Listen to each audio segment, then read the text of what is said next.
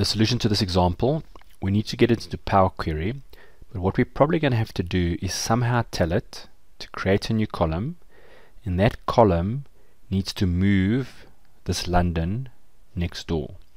Now how can we tell which rows are the correct one to use? So it looks like probably the most constant is wherever there's a number here, we don't want it. So only if there's a blank. So let's go into Power Query. Okay, it looks like that. We can see our nulls.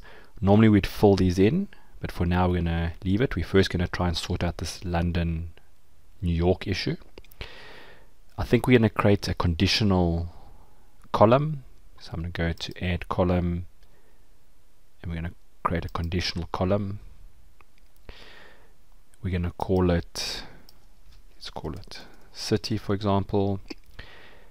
And what I'm going to say is please look and see if the sales column over here is equal to a value of, and I'm going to type the word null. If it is equal to null, then I want it to go and use whatever's in the salesperson's column. If it's not, and this is quite important, I want it to appear as a null. So let's see if that works. I'm going to say OK. So what you've now got is I've got London, then lots of nulls, then New York, and then lots of nulls.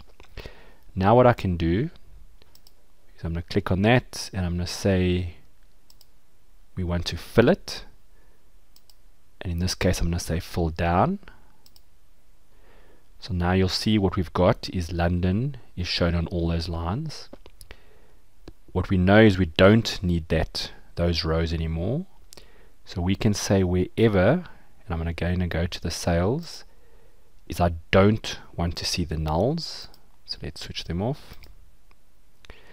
So now what we've got, there's the city. We've still got these nulls, but that's easy to fix. I'll highlight that. I'll say fill down. And we've now set up a table that has converted it into a normalized table where the city is adjacent to all the other information. And you could now load this back into your Excel.